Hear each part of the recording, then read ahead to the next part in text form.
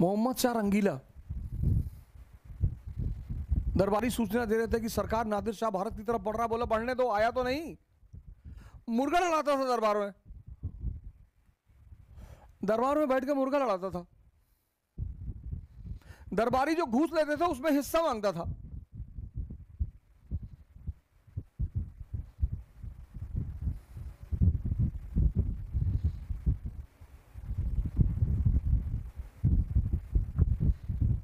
पहुँचा नादिर शाह? हराया कैटरनाल में?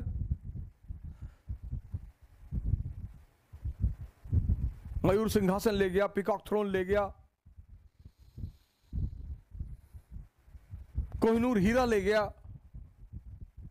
इतना पैसा ले गया हिंदुस्तान से कि तीन साल तक उसने ईरान के लोगों से कर टैक्स लिया ही नहीं।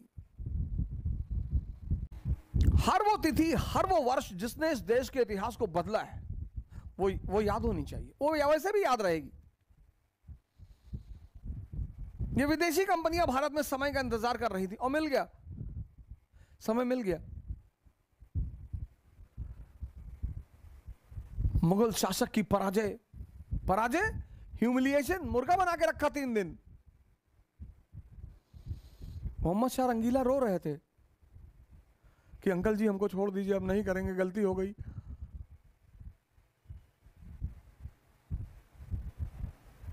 और यहीं से विदेशी कंपनियों ने एक बार फिर अपना सर उठाना शुरू किया। ये पहला फॉर्मूला है।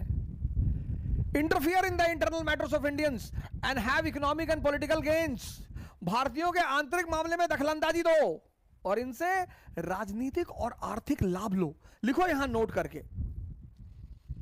भारतीयों के आंतरिक मामलों में दखलंदाजी दो और इनसे राजनीतिक और आर्थिक लाभ लो। ये फॉर्मूला किसने पैदा किया? डुप्ले ने। पर इसको सक्सेसफुली लगाया किसने? क्लाइव ने। और ईस्ट इंडिया कंपनी ने। 1756 में क्लाइव पहुँचता बंगाल पूछता है, कौन राजा बनेगा? मीर जाफ़र भाई, सर। बोले, सर, हम राजा बनेंगे, सर। हाँ बोले बैठा उसको। प्लासी का युद्ध सत्रह जाफ़र को राजा बनाया।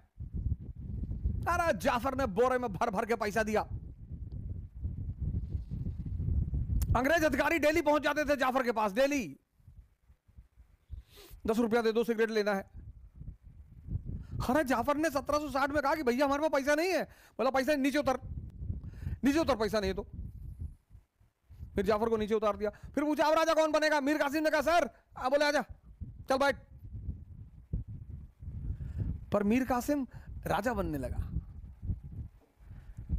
तो कंपनी ने कहा कि क्राउन पहन ले और बैठ उस पर गद्दी पे और मुजरा उजरा देख, बाकी हम चला रहे हैं। उसने कहा, नहीं, हम चलाएँगे। हाँ हम हम क्राउन पहने हुए हैं तो हम चलाएँगे। बोले, क्राउन हमने पहनाया है।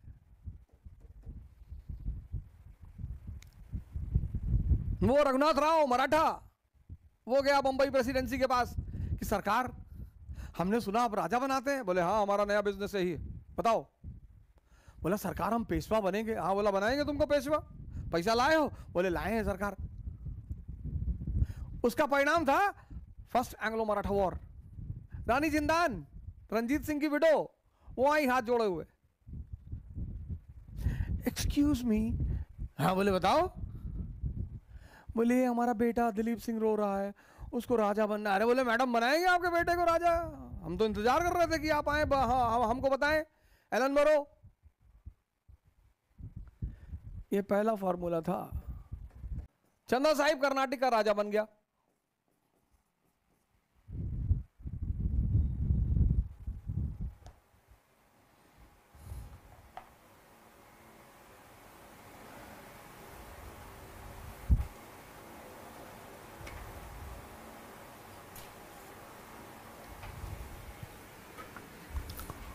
सत्रह में नासिर जंग मारा गया। सत्रह पचास। मुजफ्फर जंग हैदराबाद का राजा बन गया। अब मुजफ्फर जंग अब हैदराबाद और कर्नाटक दोनों जगह ड्यूपले के आदमी। हैदराबाद में मुजफ्फर जंग कर्नाटक में चंदा साहेब, दोनों जगह मुजफ्फर इसके आदमी, किसके? ड्यूपले के अब चूँकि मुजफ्फर ड्यूपले ने राजा बनाया ड्यूपले ने दोनों को राजा बनाया। तो ड्यूपले को तो रिवॉर्ड मिलेगा ना? ड्यूप्ले को तो रिवॉर्ड मिलेगा। तो चंदा साहिब ने क्या किया? अस्सी गाँव दिए। पौंडीचेरी में।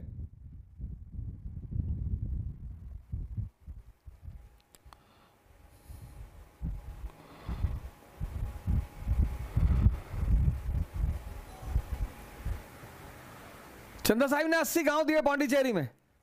मुजफ्फर जंग ने मसूलीपट्टनम का शहर दे दिया।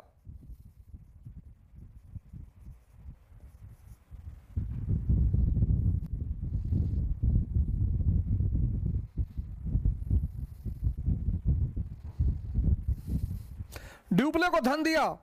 चेक कर लीजिएगा जरा एनसीआरटी में। दो लाख या बीस लाख। इस वक्त मुझसे मिस हो रहा है।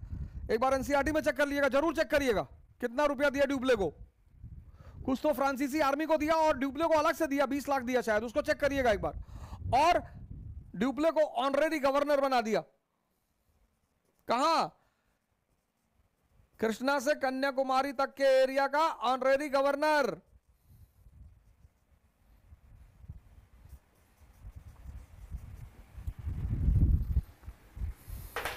ड्यूबले तो परेशान हो गया कि अरे यार, सब कुछ दे दोगे क्या? अपना घर बार दे दोगे?